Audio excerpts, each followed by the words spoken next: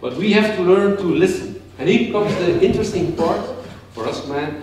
We don't have to listen to everything. we only have to listen to the intonation, the, the way words are said, the accents, the, the, the intonation. Because starting from the intonation, you can take your conclusions. You know, you know what? I, I will explain. I will explain. For instance, your first name. The, the way your first name is pronounced, from that way you, you can take your conclusions. For instance, here, accent on the A. If my wife says, Arnout, I know I have to do something. See what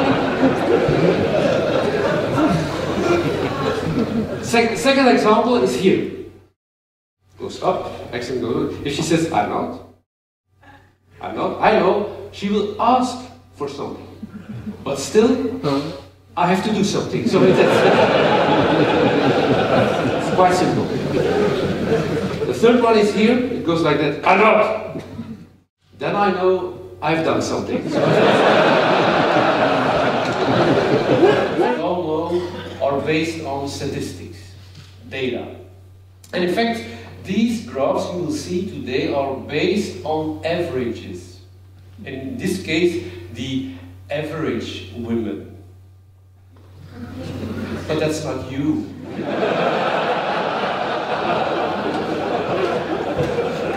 because, because you are special. That's how you do that. For instance, my wife gave me this, a task list. A task list, or what's written on this? Uh, put children in bath, clean the car, wash the Only applicable for the women. It, it's similar, but it's not exactly the same. You see here the time at the uh, horizontal axis, a curve that goes up, but on the uh, vertical axis, a big difference. It's not written anymore uh, wrong, but BR, being right being right. You see it goes up. And, and, and, there is something interesting about this curve. I, I don't know if it's readable for everybody, but you read it? There is a zone, a phase in your relationship, or a point, starting from that point, she's always right.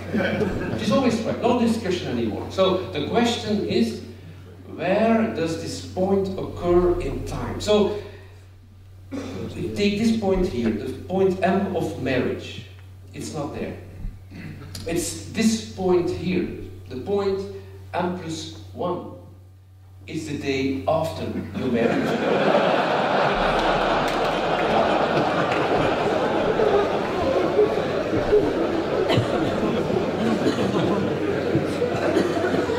Are there any questions?